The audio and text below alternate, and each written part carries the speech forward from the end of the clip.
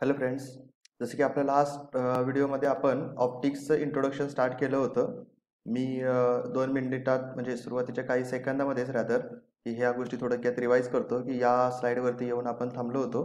आपण सुरुवातीला बघितलं होतं की what exactly mean by wave and waves are divide into two types that means longitudinal and transverse out of that the best example for longitudinal wave is sound wave and best example for transverse is a light wave and लाईटची history आपण पाहत होतो की लाईटला नंतर nineteen सेंचुरीमध्ये wave आणि ते electromagnetic radiation दाखवलं होतं. आणि त्याच वेवला आता आपण इथंपर्यंत आलो होतो की according to quantum theory light is nothing but it is the manufactured from the quanta और that means it must be the particle one that means वेवला एक थेरी सांगते की uh, वेव आहे म्हणून आणि एक थेरी सांगते की पार्टिकल म्हणून.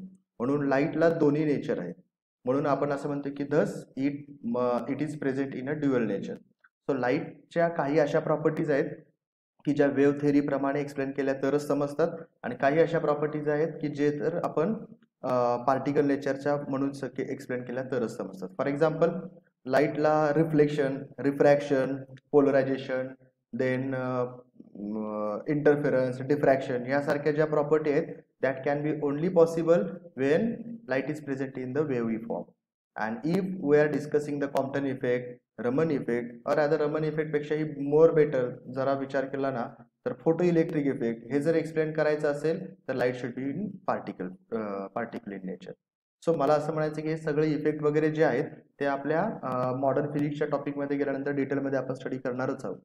बट बिफोर दॅट आपण तात्पुरतं थोडक्यात असं डिस्कस करतोय.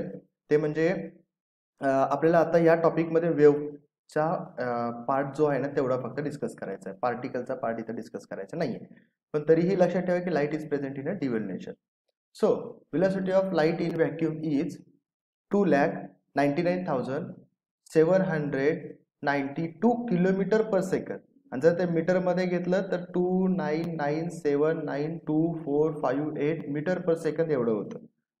पण याला आपण जरा पॉईंटमध्ये एक्सप्लेन करायला गेलं तर ते असं येऊ शकतं. बघा one two three four five six seven eight that means जर पॉईंट मी इथं घेतला तर आपण असं म्हणू शकतो two point nine nine seven nine two four five eight into ten raise to eight metre per second but practically विचार करायला गेलं की this two point nine nine something म्हणजेच थ्री सो आपण म्हणून असं म्हणतो की velocity of light in vacuum is approximately और practically three into ten raise to eight metre per second ज्याला किलोमीटरच्या फॉर्ममध्ये बोलायला गेलं तर असं होतं की तीन लाख किलोमीटर पर सेकंड म्हणजे इमॅजिन करण्याची गोष्ट आहे लाईटचा स्पीड हा एका सेकंदात तीन लाख किलोमीटर असतो.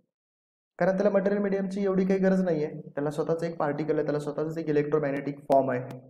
आणि जर लॉजिट्युनल वेव्ह किंवा साऊंड वेव्हचा विचार केला तर त्याचं velocity three hundred something metre per second असतं. फक्त म्हणजे बघा थ्री हंड्रेड समथिंग म्हणजे आपल्या भाषेत बोलायला की one third of kilometre sound one third of kilometre पोहोचतं आणि तेवढ्याच ड्युरेशनमध्ये लाइट थ्री किलोमीटर पोहोचतं.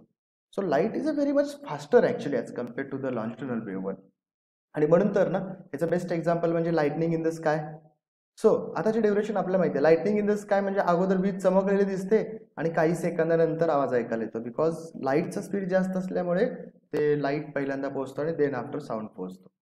Actually this velocity can be calculated by using this formula here या इथं जो काही फॉर्म्युला दिला ना या फॉर्म्युल्याप्रमाणे खरं तर कॅल्क्युलेट केलं जातं की C is equal to one upon under root mu and epsilon where mu is nothing but and epsilon is nothing but हे दोन एक कॉन्स्टंट आहेत. जे की मला असं वाटतं की ह्याच्यातल्या डिटेल स्टडीज आपल्याला इलेक्ट्रोस्टॅटिक किंवा करंट इलेक्ट्रिसिटी आणि त्याच्यानंतर magnetic effect and then after magnetism या टॉपिकमध्ये गेल्यानंतर स्टडी करायला मिळेल.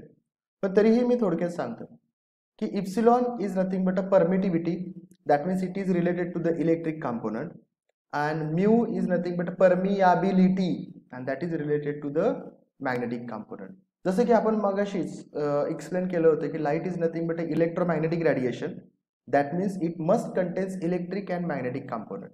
If it is containing electric component that means it must contains constant of electricity called as uh, epsilon that means permittivity. आणि जर मॅग्नेटिक फील्डचा विचार केला तर म्यू म्हणून या फॉर्म्युल्यामध्ये मॅग्नेटिक आणि इलेक्ट्रिक दोन्ही कॉन्स्टंटचा रेसिप्रोकल अँड स्क्वेअर रूटमध्ये घेतलं तर जे आन्सर येते ते म्हणजे सी आता हे येतं कसं? हे आपल्या मॉडर्न फिजिक्सच्या म्हणजे शेवटच्या लेक्चरमध्ये कम्युनिकेशन आणि त्याच्या अगोदरच्या जे काही टॉपिक आहेत ना त्याच्यामध्ये आपल्याला व्यवस्थित एक्सप्लेन करायला मिळेल. पण मी तात्पुरतं असं म्हणेन की हे तात्पुरतं लक्षात ठेवा की ॲज इट इज आहे असं. कारण जर ते आत्ता असं लक्षात ठेवलं तर ते आपल्या शेवटच्या टॉपिकमध्ये एक्सप्लेन करायला मिळेल. So C can be depending on mu and epsilon म्हणजेच permeability and permittivity respectively okay so this is all related with the nature of light so मला असं म्हणायचं की ह्या व्हिडिओ ज्यावेळेस तुम्ही पाहत असता ॲट दॅट टाइम हे सगळे पॉईंट आउट करून घ्या. बऱ्याच वेळेस असं होतं की माझ्या बोलण्यामध्ये दोन चार गोष्टी एक्स्ट्रा जातात पण त्या गोष्टी आपल्या टेक्स्टबुकमध्ये नसल्यामुळे मला ते स्लाईडवरती किंवा एक्सप्लेन करताना लिहिता येत नाही आहेत पण माझ्या बोलण्यामध्ये बऱ्याचशा गोष्टी जातात. ॲट दॅट टाइम तुमचं ज्यावेळेस नोटबुक चालू असतं ना त्यावेळेस ते पॉईंट लिहित राहायचे. लिहिण्याचं महत्त्व मला वाटतं तुमच्यापैकी सगळ्यांना माहीत असेल. कारण तुम्हीही माझे याच्या अगोदरही लेक्चर कंप्लीट केलेले आहेत. ज्यावेळेस आपले कंप्लीट टेनचं सिलेबस झालं होतं. त्यावेळेस त्या टेनच्या सिलेबसला रिवाईज करण्यासाठी मी काही लेक्चर घेतलेत. त्यामुळे तुम्हाला ते माहिती आहे की लिहिण्याचं महत्त्व काय असेल ते. त्यामुळं ज्यावेळेस माझं लेक्चर चालू असतं त्यावेळेस तुमचंही ते पेन चालू पाहिजे आणि ह्या व्हिडिओमधल्या सगळ्या गोष्टी तुम्ही पॉईंट आउट करून ठेवल्या पाहिजे. Okay so this is related to the nature of life so will go further now according to our topic आपल्याला हे माहीत पाहिजे की light can be studied in a three different categories that means light can be studied according to the ray optics according to the wave optics and according to the particle nature मी हीच गोष्ट थोडक्या थोडक्यात explain करेन.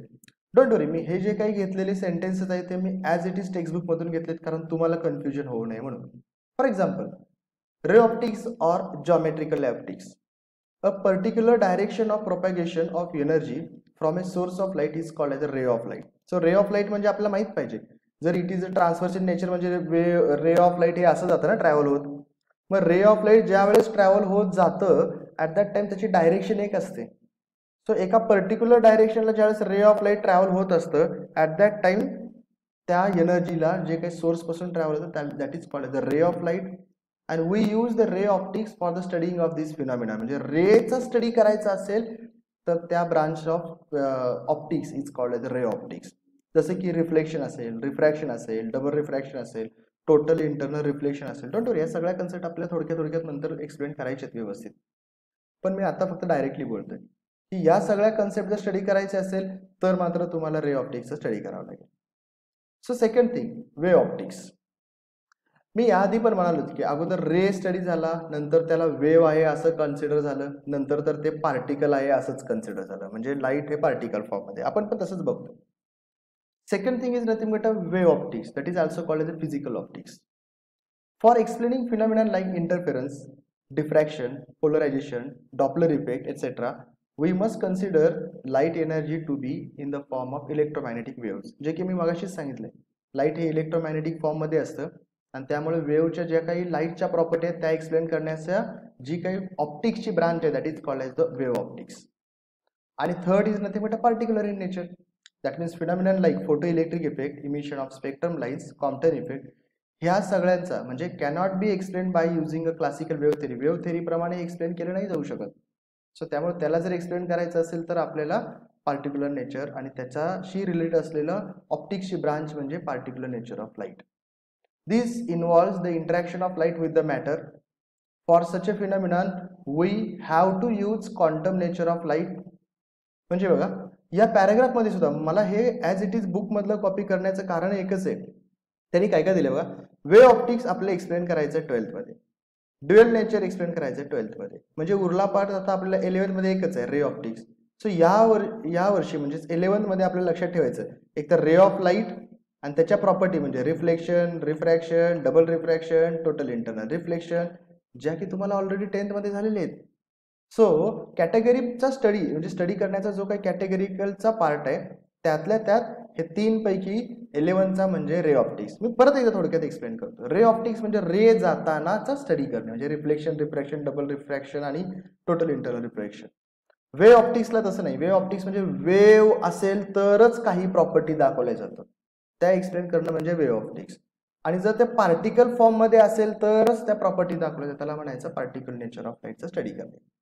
So आत्ता आपल्याला syllabus कॉपीप्रमाणे विचार केला तर रे ऑप्टिक्स आणि त्याचा स्टडी आहे. सो म्हणून आपला पहिल्यांदा स्टडी येतो तो म्हणजे ray optics ray optics is also called as a geometrical optics because reason simple आहे. रे म्हणजे स्ट्रेट लाईन ज्यावेळेस रे स्ट्रेट लाईन जातं at that time it will produce a geometry geometrical किंवा रे डायग्राम्स तयार होतात ना. त्यामुळे त्याचा स्टडी करणं म्हणजे geometrical optics is quite simple actually but ray optics study करायचं असेल तर there are four fundamental laws according to our textbook जे की आपल्याला इनडायरेक्टली सगळे माहितीच आहेत. फॉर एक्झाम्पल बघा पहिलं लॉ सांगतं काय? Light travels in a straight line in a homogeneous and isotropic material medium म्हणजे लाइट हे कायम स्ट्रेट लाईन ट्रॅव्हल होतं. हे सिंपल आहे हे सगळ्यांना माहितीच आहे. Two or more light waves are intersecting with each other आणि त्याच्या इंटरसेक्शनच्या पॉईंट नंतर ते वेव्ह ऑफ लाइट सरळ जातं without interference of each other हे पण आपल्याला माहिती आहे. Don't worry explain later law of reflection हे तर आपण टेन्थमध्ये पण स्टडी केले नाईन्थमध्ये पण स्टडी केले. Law of refraction with Snell's law हे सुद्धा आपण स्टडी केले. ह्या सगळ्या चारीचे चारी पॉईंट मला एक्सप्लेन करायचे आहेत डोंट वरी मी फक्त पहिल्यांदा वाचून दाखवतोय. सो पहिलं लक्षात ठेवा. Light travels in a straight line in a homogeneous and isotropic material medium जर मटेरियल मीडियम होमोजिनियस आहे म्हणजे इथं एअर आहे इथं पण air air air air air air सगळं एअरच असेल तर त्याला म्हणायचं होमोजिनियस मटेरियल मीडियम पण समजा असं असेल इथं एअर आहे मध्येच व्हॅक्युम आहे ग्लास आहे वॉटर आहे केरोसिन आहे एअर आहे. म्हणजे हे सगळं मटेरियल मीडियम भरलंय ना वेगवेगळ्या material मिडियमने so then that type of material medium is called as a heterogeneous material medium so homogeneous material मीडियममधून ज्यावेळेस रे ऑफ लाइट जातं त्यावेळेस ते कायम स्ट्रेट लाईन असतं. हेट्रोजिनियस केलं की आपल्याला माहिती आहे ना मटेरियल मीडियम बदलतं रे ऑफ लाइट बेंड होतो आणि ते स्ट्रेट लाईन जाऊ शकत नाही. ड्यू टू रिफ्रॅक्शन फिनॉमिना त्यामुळे होमोजिनियस असेल तरच लाइट ह्या स्ट्रेट लाईन ट्रॅव्हल होतं. म्हणजे या सेंटेन्समधला इम्पॉर्टंट वर्ड आहे तो म्हणजे होमोजिनियस दुसरी महत्वाची गोष्ट आयसोट्रॉपिक मटेरियल म्हणजे सगळ्या बाजूला सारखं. या डायरेक्शनला air air air air air air सगळ्या बाजूला एअर हे सारख्या युनिफॉर्ममध्ये पाहिजे. असं नको ना या इथली एअर थोडी विरळ आहे इथं डेन्स आहे. परत एकमेकांमध्ये श्रावी आहे. म्हणजे असं जर असेल तरी सुद्धा ते लाइट बेंड होण्याची शक्यता आहे ना. त्यामुळं लाइट हे स्ट्रेट लाईन ट्रॅव्हल होण्यासाठी दोन वर्ड महत्त्वाचे आहेत एक तर होमोजिनियस आणि दुसरं म्हणजे isotropic material medium second sentence आहे ते म्हणजे two or more light waves are intersecting without affecting their path beyond point of intersection म्हणजे असं कधी पॉसिबल नाही. एक रे इकडून चाललंय एक रे इकडून जात आहे so this is the point of intersection ना. या पॉईंट ऑफ इंटरसेक्शनच्या पुढे गेल्यानंतर रे कधी बदलत नाही ना?